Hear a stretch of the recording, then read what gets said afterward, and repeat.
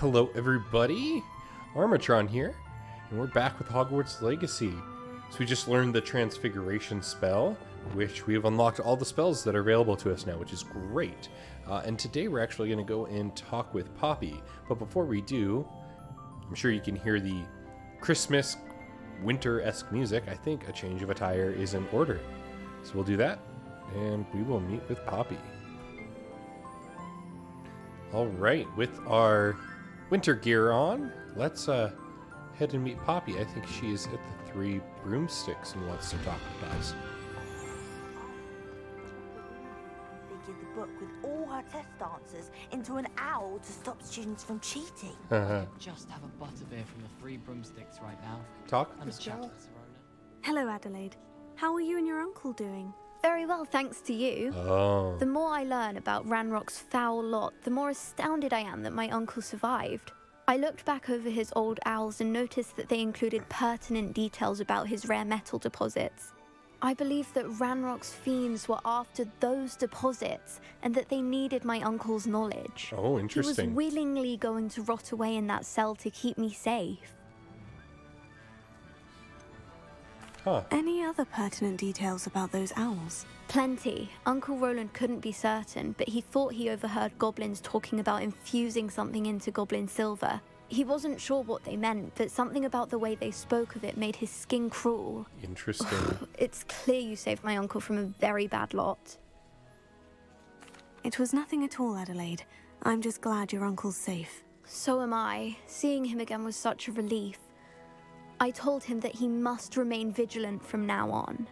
I, for one, can't help but look over my shoulder now whenever I leave the castle grounds. oh, well, I'm glad he's doing better. Oh, and it's snowing.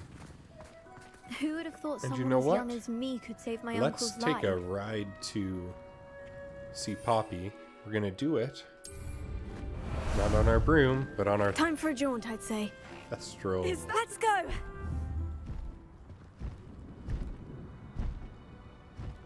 Come on. You can go higher. I know that you can. It's a little bit quicker going higher when you're moving. Okay. That's good to know.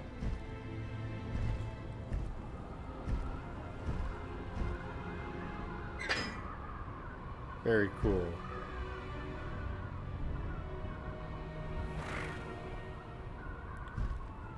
Hmm, like the little purple violet wings. Awesome. There's Hogsmeade.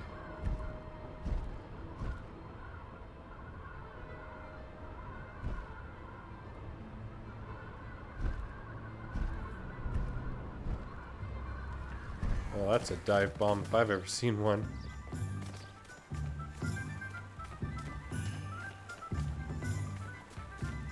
Gosh, it's so hard to control on the ground. Time to go a little quicker! Oh, you can't enter well mounted. Fine. There we go. Okay. Right. Wonder what Poppy's gonna have us do. It probably has something to do with the dragon egg that we have. Folk still talk about you taking down that troll in the village circle. You Over here. There she is. Hi, Poppy. This is a change of pace from our last outing. Don't remind me. The thought of that tent still makes my blood boil. I've been thinking about those poor dragons in the fighting ring. The collars they were wearing, they appeared to be goblin silver. I think a collar is precisely what we found at that poacher camp. Mm. I've never known poachers guessing. to use anything like that before. The dragon that attacked my carriage was wearing a collar. And Professor Fig was genuinely baffled by its behavior. That attack always did strike me as a little strange, seemingly coming out of nowhere. Surely you aren't suggesting that the collars somehow control the poor creatures? Exactly. Merlin, Yep. I don't think the dragon we set free was wearing a collar, but we should check. And if we can find her, we can return her egg. Sounds like a good idea. That's a good idea. We need to see this through. I'll start looking into it right away. There was something else that I wanted to discuss with you. I didn't want to press it before. It seems I may have caused you more trouble with Victor Rookwood. Why is he after you? Ooh.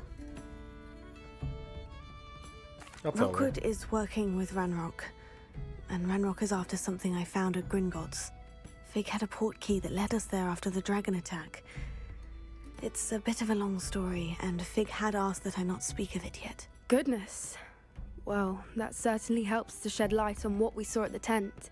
Don't worry, I'll guard your secret as if it were my own. Oh, I thank you. shan't press for more details. In fact, I should probably be going. I'd like to track that dragon down as soon as I can.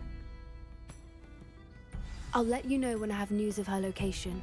Oh, so this is another one where we have to wait for the owl. Oh, great. So now we can't really do anything with that. Let's head outside.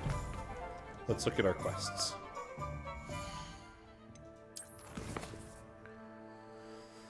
Oh, so we have both of these. Let's actually do Mum's the Word. We'll actually get it started.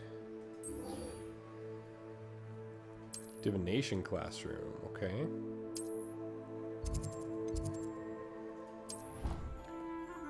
Hopefully we don't have to wait for this one too after we start it. So frustrating. It's getting worse. If there is any chance that the relic from Slytherin's spellbook can help her, I must find it. I'm requesting your help. Meet me outside of Feldcroft, near the catacomb. Oh.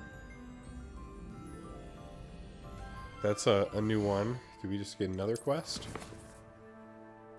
In the Shadow of Time. Ooh, interesting. Get Imperio for this one. Nice. Uh, let's finish Mum's the Word right now, though. You wanted to speak with me, Mother? I had hoped to speak with you alone, Natsai.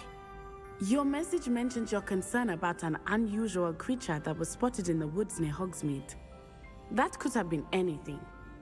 You know what it was, Natsai. I am allowed to leave the castle. I am always careful, Mother. Careful.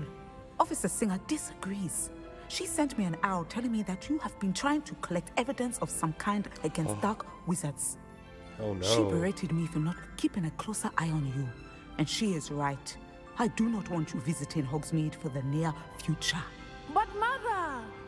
My little gazelle, you are well intentioned, but you must not meddle in the affairs of dangerous people. If someone had meddled in Matabeleland, Father would still be with us. Oh. I must get to class. Perhaps your friend can get you to listen to reason. Why are we just smiling the whole time? So frustrating. She never listens to me. She called you her little gazelle. Is that a term of endearment where you're from? It is specific to me. I am the unusual creature in Hogsmeade she mentioned. Self transfiguration is not taught at Hogwarts, so I am gently discouraged from practicing it. However, I am an animagus, Oh. and it is oh. in my gazelle form that I have been able to wander the highlands rather freely until now, much to my mother's chagrin. That is how I managed to spy on Rookwood and Harlow. Cool. Oh yeah, let's ask her some questions about this. This is interesting. Were you born an animagus, or did you learn to become one? Animagi are not born. The process is quite elaborate. It involves holding a mandrake leaf in one's mouth for an entire month, then placing the leaf in a crystal phial so that it is imbued with moonlight, then adding one of your own hairs. And that is just the beginning. Self transfiguration is common among students at Wagadu, but Professor Weasley considers it much too dangerous to teach at Hogwarts. really? Yeah, so did she get to choose? Can you choose what form your animagus will take? Oh no. A person's animagus form is determined by their personality. My mother is convinced that my form is a gazelle because I adapt well to any situation. I believe it is because I can sense danger and keep my wits about me. Oh, interesting. Okay, cool. How does it feel to transform into an animal? Well, the first time it can be a bit unnerving. I felt a kind of searing pain and a strong double heartbeat. But it gets easier the more you do it. I no longer feel any pain, and I must say, I find a sense of comfort in the double heartbeat. And I love being able to view the world from a different perspective. Hmm, that is cool. Now the nickname makes sense. What an extraordinary ability to have. It is. I love transforming, but Mother is less enthusiastic about it. She says that no creature, especially one as rare as a gazelle, should be bounding about where poaching has become so prevalent. Ah, she claims that she has foreseen tragedy befall me in my gazelle form. But she has used her sight to control me too many times. I no longer believe it. Oh. She's concerned for your safety. It may be best for you to stay away from Hogsmeade for now. That may be safe, but I do not believe that it would be best. Do you? You could have fled the moment you discovered that Rookwood, Harlow, and Ranrock were after you, but you did not. I choose to act as you have. I must deal with Rookwood and Harlow, not hide from them. My mother cannot know where I am all the time. Huh, interesting. Thank you for being here during that rather awkward conversation. You're welcome. Is that the the end of that one? Did we finish it? Uh, I'm gonna look.